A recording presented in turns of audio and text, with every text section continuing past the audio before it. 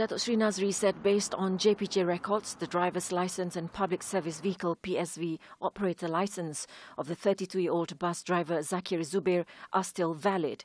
The vehicle has also undergone inspection at Puspakom. Pemandu tiada saman tertunggak. Mana pemandu tak ada kesalahan dalam dalam aspek ini. Oleh itu um, kita dan juga uh, lesen dia dan juga PSV dia masih sah lagi. Masih valid dan kita buat pemeriksaan ikut rekod kita pemeriksaan Puspakom masih sah lagi, masih sah lagi. Dan semuanya nampak sah lah. Despite this, Datuk Sri Nadzri added that the record was only from JPJ and does not involve records from the Land Public Transport Commission, SPAT, and the police.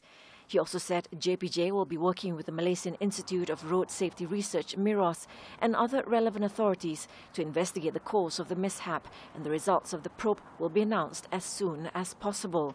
At 3.25 a.m. yesterday, the bus crashed into a 10-meter deep ravine before hitting against a concrete wall of a tunnel at Kampung Jayo, killing 14 people and injuring 16 others. Following the crash, the SPAT has suspended the operator's license of Goldstar Express and its entire fleet with immediate effect.